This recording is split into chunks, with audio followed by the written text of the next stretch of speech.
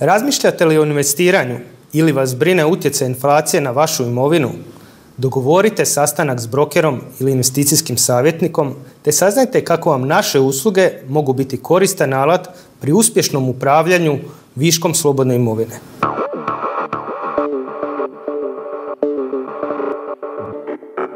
Naš pristup razvijenim financijskim tržištima Europe i Sjeverne Amerike omogućuje klijentima da izlože dio svoje imovine širokoj paleti vodećih svjetskih kompanija ili burzovno utrživih fondova.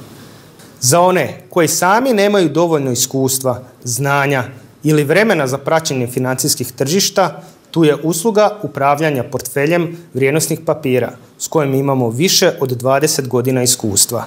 Pozivamo vas da rezervirate svoj termin sastanka putem Zooma ili MS Teamsa, telefona ili u nekom od naših ureda, besplatno i bez obveza.